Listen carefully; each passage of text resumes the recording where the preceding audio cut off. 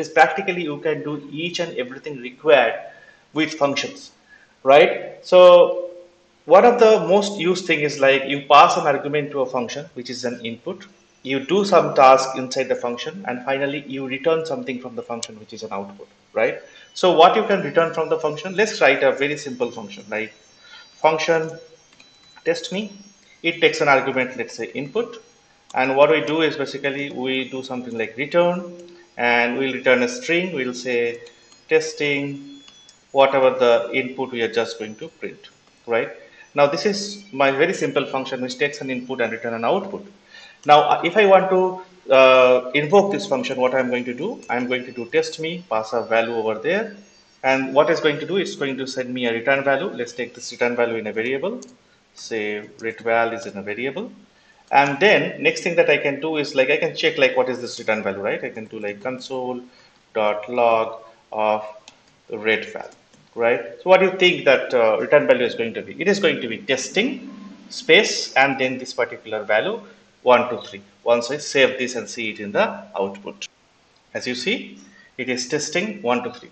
Now, what if I don't put this return statement at all over here? What do you think is going to be the output value? So, is it going to uh, output anything? Yeah, of course, it is going to. It is going to output an undefined even when you are not returning explicitly, the function will return an undefined. So we get to see undefined right now, um, you know, in the console, right? So you see undefined in the console. So we understood like how the returning things happen with the function. As we now understand what function is and how it behaves, I think it's the right time to get into understanding what is a pure function, what is the usage of it, why should we bother about it at all, and what are the side effects and what are side effects impact on a pure function. Okay, let's get to it. As a programmer, you use functions to perform some task and then finally return an output or produce an output. Most of the time you do that by passing an argument and working on that, right, the input. But all the while, you always want your functions should have certain key characteristic. One of the characteristic is it should be predictable. So what does it mean? It produces a predictable output for the same inputs that you provide to it. The second characteristic that you may want is something called readable. So it means anyone reading the function as a standalone unit can understand what exactly the purpose of this particular function. The next thing that you want to make sure that your function should be reusable. It means you can reuse the functionality in multiple places so that you don't have to uh, kind of duplicate the source code or you don't have to alter the source code of the of, uh, you know of the caller of the function right? And the last thing that you want to make sure that your function is testable as a unit right? So these are the characteristic uh, you have to ensure that when you write a function it already has and you know what? A pure function has all these above characteristics. Basically, it is a function that produces the same output for the same input. So this one you need to really keep in mind. Produces, produces same output for the same input. Now, if I tell this a little bit more technically, it means that it always returns the same result when you pass the same arguments. If you change the arguments, the results will be changed, but for the same arguments, always the same result. So it is predictable and you will see certain examples that you're coming up with. It is how it is readable, reusable and the testable as well, right? So let us first write our first pure function. So our first pure function starts with the keyword function. Let's say the name is say greetings and it takes an argument called name and what it does is basically return a simple string called hello the name right? Simple function. Now as a caller when I call this function called say greetings and I pass any string say tapas so as you know as many times I pass the same string tapas it is always going to return me what? It is always going to return me hello tapas right? There's no change of that. Now if I change this input for example from tapas I'm changing this input to something called Alex what it's going to do is like it is going to return me hello alex whatever the times that i actually input the alex to this particular function So this is a pure function. It is also readable because we say greetings. It can you can always say that it is going to uh, return some kind of greetings, and then it is always predictable for same input, same output. You can always test this function as an isolation because it does only one task, that is returning a greeting greeting message, and of course it is reusable in multiple places. Now, how, how can you make this function impure? Now, usually I should teach you like how can you make an impure function pure, but I'm teaching you other way so that you know like the kind of coding that we do usually that we write probably mostly impure functions and then you know we can recognize them easily, right? So let's take this one and let this let's make this function a little bit impure. So what if I do something like this is let greeting equals to hello and then instead of having this one hello, I just say greeting. All right. So what I'm doing here before this hello string was local to this particular function. So there was nothing that was actually able to change the string from outside. Now this particular string is at the outside. So it means this particular uh, value is, is a state value which is outside the control of this say greetings function. Now there is no guarantee that for the same input it will always return same output. How? Because when this particular function is getting invoked, for example, say greetings, there could be a possibility that a network call or, or getting from the API some value or from the cache or local storage, this hello would have got changed to hola. So for example, when I'm making this call, this particular uh, variable value was hello, so it was hello tapas. And then when I'm making the next call somewhere at the down, this part this actually going to change it to hola alex. And then again when i'm calling this same guy you know uh, once again this probably again get got changed to you know something like hello. So you don't have a guarantee that for the same input this is going to produce the same output right? So it is not a pure function at all. And it is not a pure function at all because there is an impact there is an effect of an outer state variable which is not with local to this function whose value might change. This particular effect is called side effect. So this is one of the side effects that can make a function as an impure function. There are multiple other side effects possible. Other side effects possible like you make a network call and the value changes because of a response. You make a DOM manipulation you know with some kind of queries and uh, and the manipulation of it you actually do logging uh, to a console or to a file. You do io operation. Basically you do everything that is not intended for a function's output is called a side effect. As simple as that right? So we see an example of what is a pure function what is an impure function and what is the side effect right now, one side effect we have seen here. Let us take another example, a little bit, little more complex example where I can tell you two more side effects. So the two more side effects that we are going to learn now, one is called mutating the inputs and the second one we'll be seeing like DOM manipulation, Manipul manipulation. Okay, so these two side effects. Now what is mutating the inputs means? So a function takes an input. So let's take a function say function uh, find reverse. What this function does is basically takes two parameters. One is an array of users and one item to find in this particular uh, array of users. But it has a specialty that is always start finding the item in the array from the last instead of the first. That is the objective. So for that, what you can do basically, you can first reverse this user array, say users dot reverse a function. But wait, the user dot reverse function is going to mute it, going to change the order of this array. So what, what you are doing in this line, you are basically mutating the input directly. That's the first concern for a pure function. You are in the verge of making this function as impure. Okay, let us proceed with that.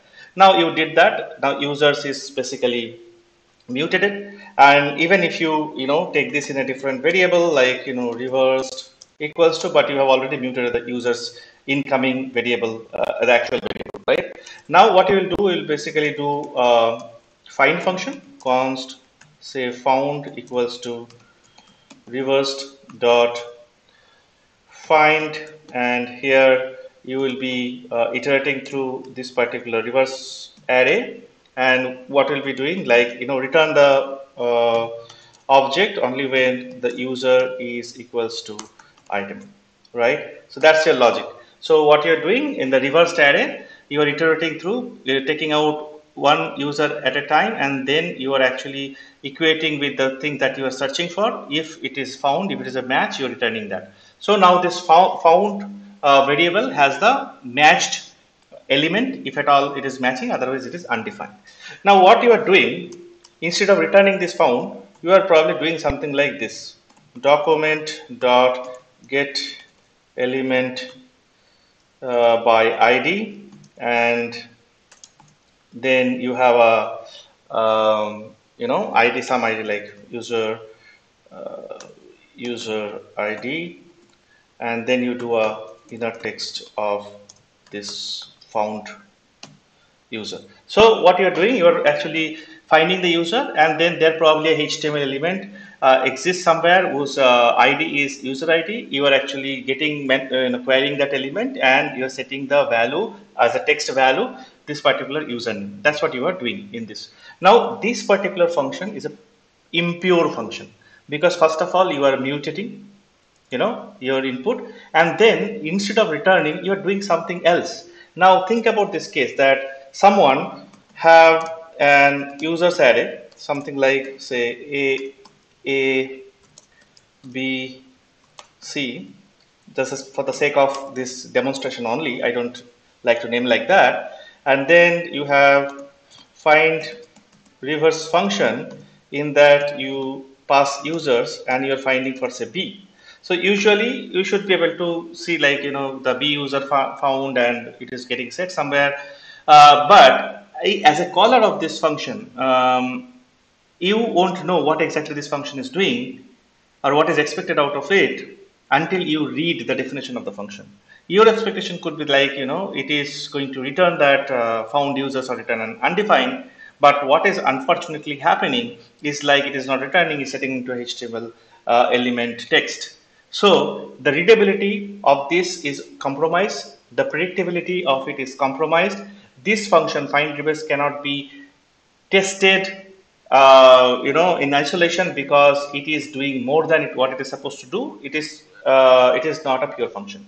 Now how do we make this as a pure function? The two side effects that we spoke about like mutating the input, let's solve that first out of those two.